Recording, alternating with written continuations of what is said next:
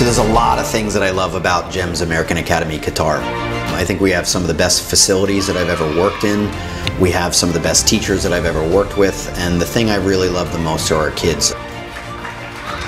Things I do to make the school better personally is I try and form relationships with all of our parents and all of our teachers and all of our students and be as visible and as positive as possible all the time.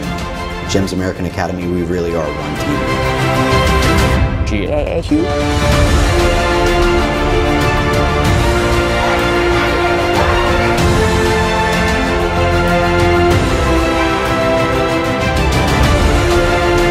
We have students that are from about 80 different countries and they are able to learn about different nationalities and cultures. I also really enjoy working with our teachers and our staff and our parents to help build our core values and our shared vision for GAAQ. Making sure our values, innovation, leadership, respect, purpose, and tenacity really help our students focus on their learning and work together collaboratively. I love planning with our teachers and working collaboratively with them to make professional development meetings that really help build our skills.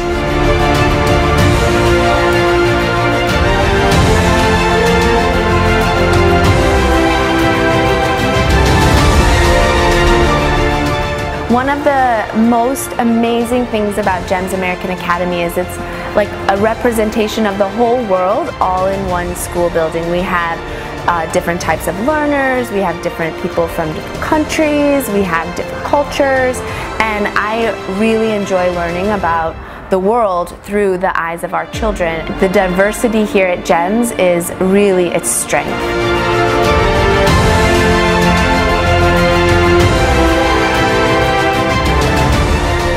So there's lots of things to be proud of at GEMS American Academy Qatar. Um, we are a fully NEASC accredited school. We offer the AP Advanced uh, Placement courses. We've recently added the Duke of Edinburgh Award. And I think one of the things we're most uh, proud of is that we have one of the highest parent satisfaction rates in the entire GEMS network. There's lots to love about working at GAAQ, but one of my favorite things is the autonomy I have as a teacher to bring the lessons to life for my students. Uh, everyone at the school is really open to new ideas, innovative ideas, and things that really the kids can connect to.